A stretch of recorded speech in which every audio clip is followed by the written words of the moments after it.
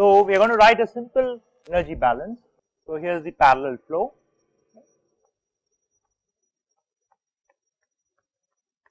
I take a small element. So, supposing if it is delta x, okay, some some whatever uh, small element, and let us assume that the area of heat transport in that element, okay. So, this area is delta A. So, that is the area of heat transport which is available for taking heat from the hot fluid to the cold fluid.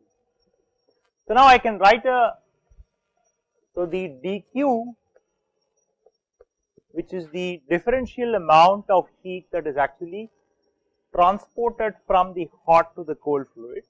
Okay. So, that is given by minus m dot Cp into dTh. Okay. So, dTh is the temperature difference in the hot fluid in this element. Okay. So, dTh is the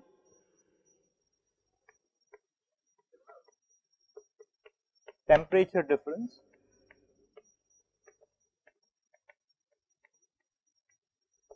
in delta x. Okay. And at steady state because there is no heat that is going out from the top and the bottom side. So, that should be equal to m dot Cp multiplied by dTc. Okay. So, that is the amount of heat that is gained by the cold fluid. So, now, but we also know that dq is given by u some delta T okay, which is the difference in the temperature between these two chambers multiplied by the differential area. Okay. So, delta T is nothing but Th minus Tc. It is some representation of Th minus Tc. We will see that in a short while what it is. Okay. So, now So, d delta t okay. So, that is the first differential of delta t that is given by dth minus dtc. So, that is the differential change in the temperature difference between the two fluids is given by the difference between the differential temperature differences itself. So, now from here we can write that this is minus dq by m dot cp ah, I should have put a subscript h and c. Okay. m dot cp h minus dq by m dot cp cold flow. So, from here you can write now dq is u into delta t into dA right.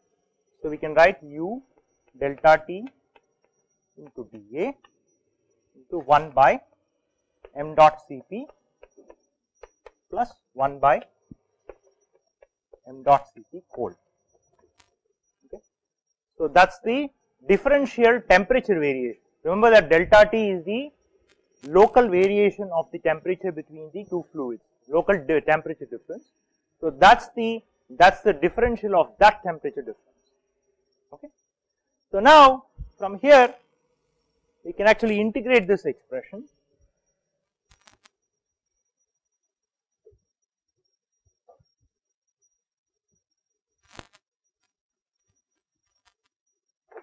So, we can integrate this expression. So, we will have integral d delta t by delta t that is equal to minus u, the properties are constant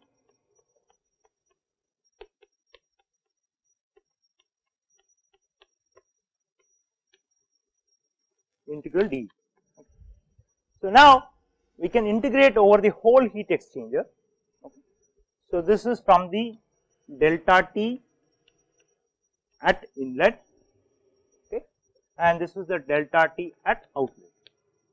So, now we can immediately see that we have started introducing the measurable quantities. Delta T inlet is a measurable quantity. You can measure the temperatures and therefore, you should be able to measure the temperature difference and similarly delta T out also you should be able to measure. And so, this will be between 0 to the overall area which is available for heat transport. So, that is nothing but that is ln delta T out divided by delta T in okay, minus u 1 by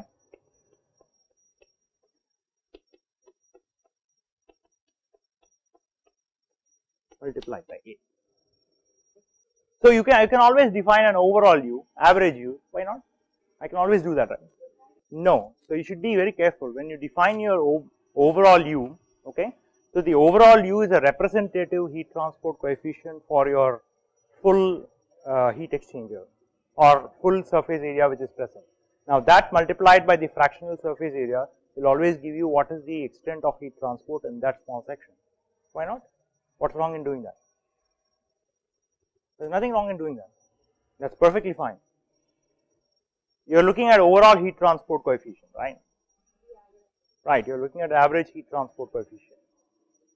So, if you look at the average heat transport coefficient, that will be some fraction of the local heat transport coefficient. If I assume that it is a tube, I haven't said what the geometry is, but let us say it is a tube, okay. Now, if it is fully developed, you know that the Nusselt number is constant right. So, the heat transport coefficient is constant. So, what do you mean? It is true even for a concentric cylinder, it is true for many different geometries. We did not prove it in the class, but it is true. We are assuming, we have not, remember that I haven't told you what the geometry is yet. So, we will talk about tubes later, we haven't, I haven't told you what the geometry is, but right now assume that heat transport coefficient is constant, it's okay. Alright, so now, so the overall heat that is lost by the hot fluid, okay, so that's given by m dot Cp of the hot fluid multiplied by Thi minus Tho, okay. So that's the overall temperature difference, that's the sensible heat that is actually lost by the hot fluid and that should be equal to m dot Cp cold fluid into Tco minus Tci. So now and that is also equal to u into A into some delta T. We do not know what that is, some representative delta T. So I call it REP, we do not know what that delta T is, that is what we are going to find. So ln delta T out by delta T in that should be equal to minus UA into. So, I am going to replace m dot Cp hot and m dot Cp cold. So, that will be Thi minus Tho divided by Q plus Tco minus Tci divided by Q. So, that will be minus UA by Q into. So, now I can easily rearrange this. So, this will be Thi, Thi minus Tho over the minus sign, okay, Tci minus Tho minus Tco. So, that is nothing but UA by Q into delta T at the inlet okay, with a minus sign minus delta T at the outlet. So, from here you get that Q equal to U into A into delta T LMTD that is given by U into A into delta T out divided by ln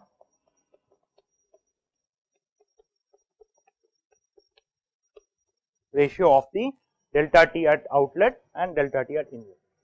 So, if we know the measurable quantities that is the temperatures of the hot and the cold fluid at the inlet and at the outlet, then we should be able to actually find out what is the overall heat transport rate based on the measurable quantities if we know what u is.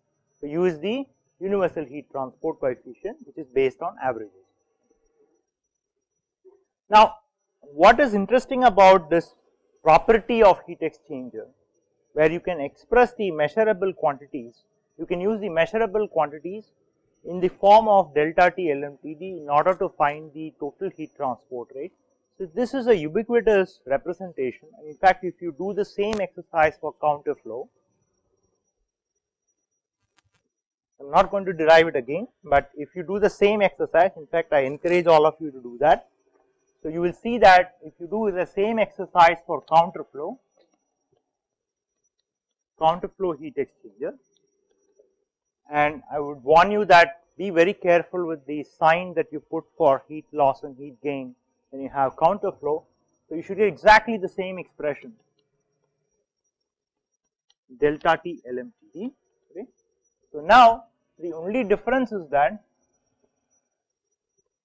so supposing if I have counter flow so where the hot fluid is flowing in this direction and we have cold fluid which is actually flowing in the opposite direction and if Thi is the inlet temperature of hot fluid and Tho is the outlet temperature and similarly Tci and Tco. Okay. So, now here delta T LMTD is defined as delta T. So, if I call this location as let us say 1 and this location is 2 because now you cannot say which is in and which is out. Okay. So, if I define my inlet based on the hot fluid stream and the location of outlet based on the cold fluid stream. So, this delta T LMTD will simply be delta T at 1, delta T at 2 divided by ln delta T at 1 divided by delta T at 2. I would really encourage all of you to actually derive this and see that you, you will it will turn out if you do the derivation carefully and correctly you will see that this is exactly the delta T LMTD that you will get which looks very similar to what you got in parallel flow. So, what really matters is that you need to measure the local I mean the hot fluid and the cold fluid temperatures at one end of the heat exchanger and a similar temperatures at the other end of the heat exchanger. This is for simple parallel and counter flow and then you simply define the delta T LMTD. So, that is why in fact, in all your lab experiments, the laminar and turbulent flow experiments, the delta T LMTD expression does not change. Whether you had a parallel flow or a counter flow, the expression for delta, delta T LMTD is the same except that you have to replace your temperatures based on what you define as inlet to the heat exchanger and what you define as outlet of the heat exchanger. So, that is all you need to know. Once you define that carefully, it does not matter how you write because minus sign will always be absorbed by the numerator and denominator, it does not matter. So, as long as you define it properly, you should be able to get the same delta T LMT. Okay. So, now there is another interesting property. I am not going to derive the algebra. In fact, you should all try this. It is a little bit complicated algebra. And it is doable. So, suppose I have a heat exchanger. Okay.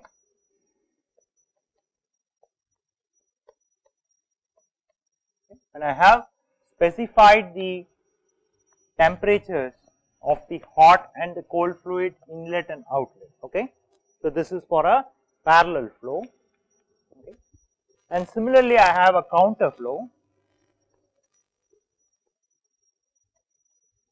and I define the same inlet and outlet conditions for the hot and the cold fluid.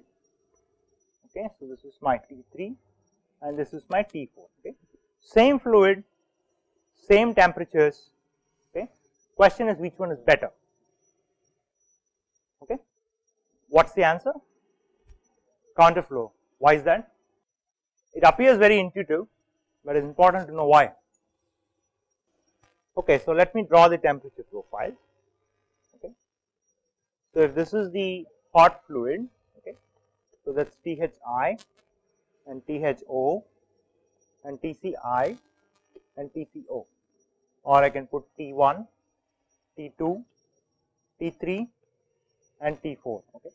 So, that is the temperature profile for counter flow and I can draw a similar temperature profile for parallel flow. So, that is my T1, T2, T3 and T4 where both are moving parallel. So, how can you say from this graph that counter flow is always better? Less is the temperature gradient, less is the heat transfer, but keep in mind that you are also as you go through inside the area of heat transport is also you are having higher area for heat transport right. So, it is possible that there is maximum heat transport here because the temperature gradient is maximum here. How can you decide which one is better? How can you decide which one is better? Based on this profile you really cannot say for sure that counter flow is better.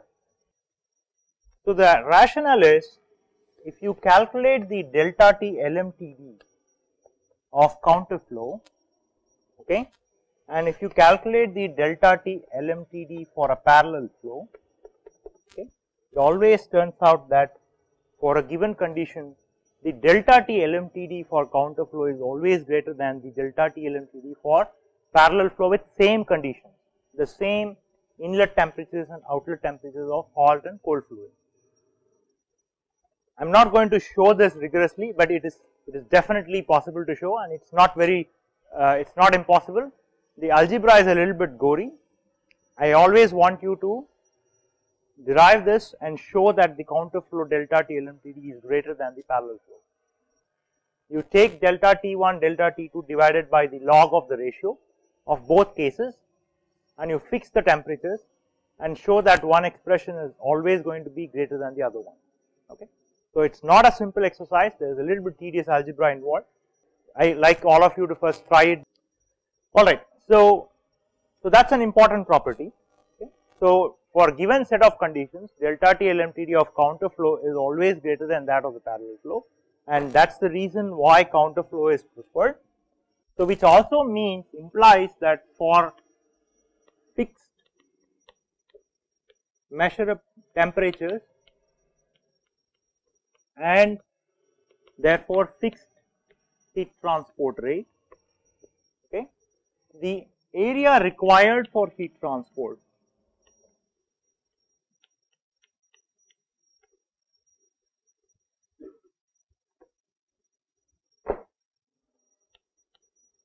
area required by counter flow is always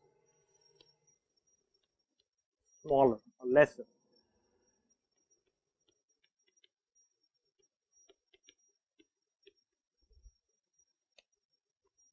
Than that for parallel flow with same temperature and same heat transport rate. Okay. So, therefore, it also implies that counter flow design is a cheaper design.